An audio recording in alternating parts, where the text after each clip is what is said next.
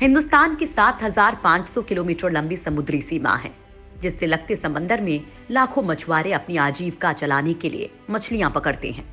लेकिन अक्सर ये लोग गलती से कभी श्रीलंका तो कभी पाकिस्तानी सीमा में दाखिल हो जाते हैं। जहाँ इन पर शुरू होता है यातनाओं का लंबा दौर। जो न केवल इन मछुआरों को बल्कि इनके परिवारों को भी हमेशा के लिए तोड़कर रख देता है। अच्छा खासा परिवार बर्बाद हो जाता है। लेकिन मोदी सरकार की पहल के बाद इसरो ने इन मछुआरों का संकट हमेशा के लिए दूर करने का पावरफुल प्लान तैयार किया है। और न केवल प्लान बल्कि इसके लिए तैयार किया गया है एक खास सिस्टम जो इनको श्रीलंका और पाकिस्तान की सीमा से बहुत पहले ही अलर्ट कर देगा। ये खास उपकरण उनकी नौकाओं का पता लगाकर उन्हें सावधान कर देगा। संसद में पेश नौसेना की रिपोर्ट के मुताबिक सभी मछुआरों की नावों में स्वचालित पहचान प्रणाली, यानी ऑटोमेटिक आइडेंटिफिकेशन सिस्टम लगा दिए गए हैं। ये सिस्टम 20 मीटर की ऊँची नावों में लगाए गए हैं, क्योंकि ये नाव ही गहरे समंदर में मछलियाँ पकड़ने के ज़्यादा काम आती हैं। बेहद खास है इसरो का ये मॉड्यूल इसरो ने मछुआरों के लिए एक खास मॉड्यूल तैयार किया है, जिसके तहत एक ट्रांसपॉन्डर युक्त व्यवस्था तैयार की गई है, जो नौकाओं की न केवल स्थिति और स्थान का पता लगाने में मदद करती है, बल्कि उनसे कम्युनिकेट भी कर सकती है। इसके ज़रिए मछुआरों को मौसम संबंधी संदेश भेजा जा सकता है और तूफ़ान की आशंका होने पर उन्हें सतर्क भी किया जा सकता है। इसमें निगरानी की एक और सुविधा है, जिससे ये पता लगाया जा सकता है कि वो अंतर्राष्ट्रीय नौवहन सीमा रेखा पार कर रहे हैं या नहीं। अगर वे सीमा पार कर रहे हैं तो उन्हें संदेश दिए जाने की भी सुविधा है।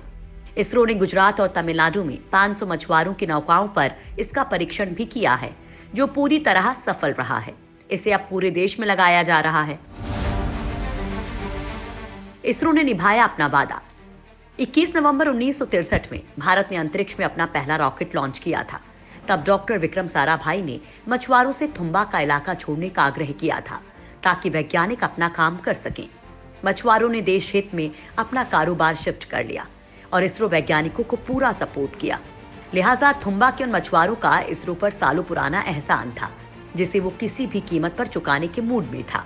इसरो के पूर्व चेयरमैन, डॉक्टर किरण कुमार के मुताबिक, इसरो आमजन के जीवन को आसान बनाने के लिए दिन रात एक किए हुए है। आज इसरो की तकनीक के दम पर किसानों और मछुआरों समेत आम जन को कई क्षेत्रों में सीधा फ़ायदा मिल रहा है। आज मछुआरे इसरो की तकनीक के दम पर सारी समंदर की खाक छानने के बजाय उन क्षेत्र में नेविगेट कर सकते हैं, जहाँ मछलियों की ज़्यादा तादाद है, क्योंकि इसरो के सैटेलाइट फिशरिंग जोन को आसानी से ट्रैक कर सकते हैं।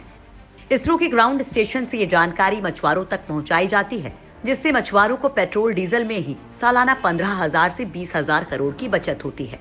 इतना ही नहीं, इसरो सैटेलाइट्स की मदद से उनको मौसम संबंधी पूर्व सूचना से भी वाकिफ करवा देता है, जिससे वो साइक्लोन या खराब मौसम में फंसने से बच जाते हैं।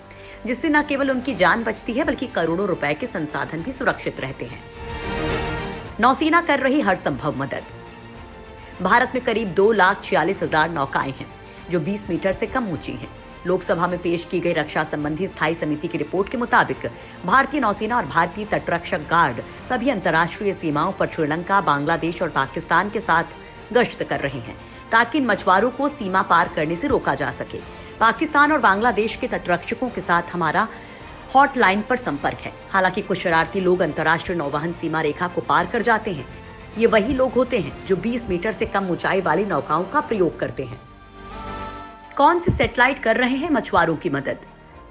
अब आपके मन में सवाल पैदा हो सकते हैं कि आखिर इसरो के वो कौन से सेटेलाइट्स हैं जो ऐसी गतिविधियों को ट्रैक करने के काम आते हैं?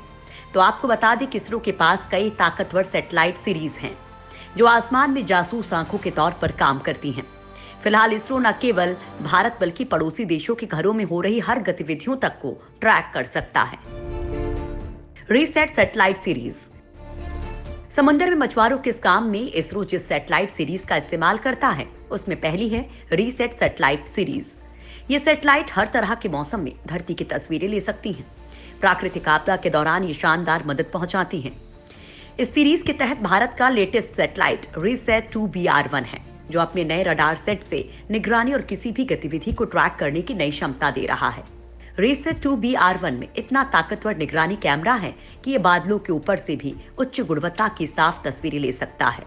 ये इमेजिंग उपग्रह X band synthetic aperture radar से लैस है, जो कि रक्षा उपयोग के लिए सबसे अनुकूल है।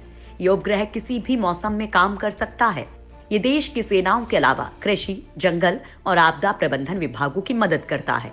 कार्टोसेट सेटेलाइट सीरीज़ निगरानी के लिए इसरो जो दूसरी सीरीज़ इस्तेमाल करता है, वो है कार्टोसेट सेटेलाइट सीरीज़ इसे आई इन द स्काई यानी आसमानी आँख भी कहा जा रहा है। यह अर्थ इमेजिंग उपग्रह है, जो धरती की तस्वीरें लेती हैं। इस सीरीज़ के नौ सेटेलाइट लॉन्च किए गए हैं। इनमें लेटेस्ट सेटेलाइट कार्टोसेट थ्री का कैमरा इतना ताकतवर है कि वो अंतरिक्ष से 25 सेंटीमीटर तक की तस्वीरें ले सकता है। यानी धरती पर 25 सेंटीमीटर की दूरी पर रखी दो वस्तुओं की पहचान स्पष्ट तौर पर हो सकती है। साथ ही हर प्रकार के मौसम में पृथ्वी की तस्वीरें लेने में सक्षम है। जी सेट सेटेलाइट सीरीज़ निगरानी के लिए इसरो की तीसरी सेटेलाइट सीरीज़ है जी सेट सेटेलाइट सीरीज़ इस सीरीज़ के अब तक पंद्रह उपग्रह अंतरिक्ष में काम कर रहे हैं। इन उपग्रहों का उपयोग टेलीफोन, टीवी संबंधी संचार के लिए होता है। साथ ही ये मौसम और आपदाओं का पूर्वानुमान भी लगाते हैं। इनकी मदद से वायु और नौसेना अपने विमानों और जहाजों का नेविगेशन करती हैं। दूरस्थ इलाकों में इनके ज़रिए ही कम्युनिकेशन स्थापित किया जाता है। इस सीरीज़ का लेटेस्ट सेटेलाइट जी सेट थर्टी है, जो जी सेट सीरीज़ का बेहद पावरफुल संचार उपग्रह है, जिसकी मदद से देश की संचार प्रणाली में नई क्रांति का आगाज़ हो चुका है। इससे आपदाओं के प्रबंधन, उनके पूर्व सूचना, मौसम संबंधी जानकारी और उसका पूर्वानुमान लगाने में तगड़ी सहूलियत होगी। साथ ही आपदा के वक्त खोजबीन और रेस्क्यू ऑपरेशन में तेज़ी आने के साथ ही ये काम बहुत बेहतर अंदाज में किया जा सकेगा।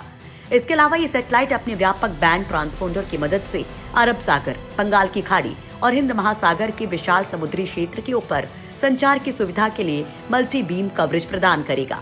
मतलब ये कि सेटेलाइट बीम्स को कई बार प्रयोग करने में सक्षम है, जिससे पूरे देश के भौगोलिक क्षेत्र को कवर किया जा सकेगा।